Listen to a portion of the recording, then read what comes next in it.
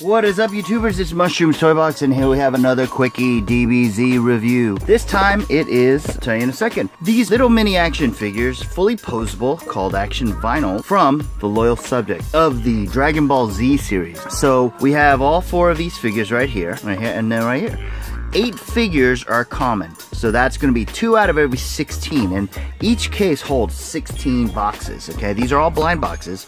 So that means you open them and there's a, a mirror mylar bag inside. And you open that and you don't know what you got until you actually open the bag.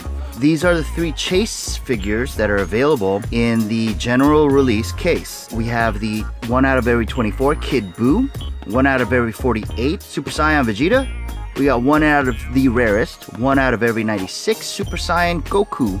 And then this green thing right here is Shenron. Shenron is a Build-A-Figure.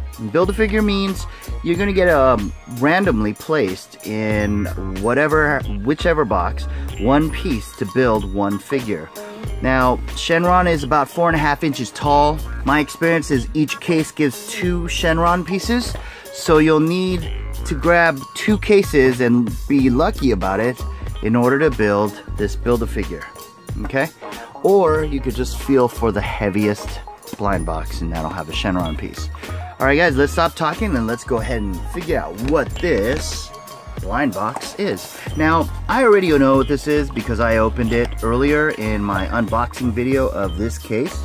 So if you want to watch that first, please look at this link above and you'll be able to see me open these packages, okay?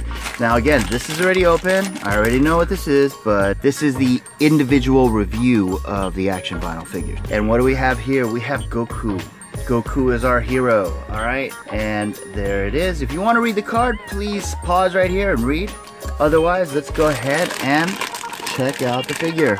This is Goku, and Goku is super cool, or should I say Kakarot, Kakarot, uh, Kakarot, which is a derivative of carrot. So anyways, check him out. Look at the hair. The hair is a little squishy, you know, you can mess around with that. Great, great, great detail. He's got articulation here, the wrists, hands, feet move, but there's no bending of the legs, okay? Some great, great detail. He, okay, just so you know, they all stand too.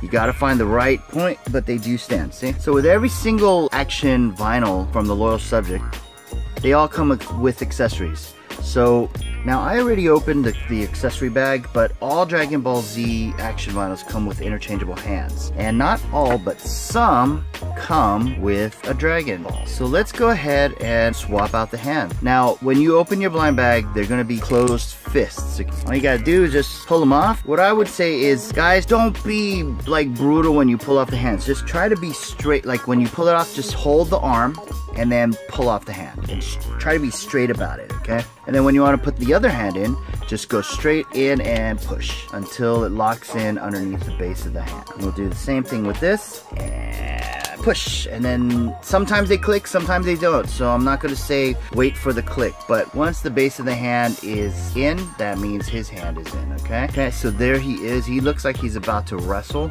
with you. Uh, I've got Dragon Ball Z playing in the background so you just put the ball in his hand. And that's pretty cool pretty awesome guys all right guys Leave any questions and comments down below. Give me a thumbs up. Tell me what you think about these. And thank you for watching. See you at the next video. I'm doing quickie DBZ reviews for every single figure. So stay tuned. Bye-bye.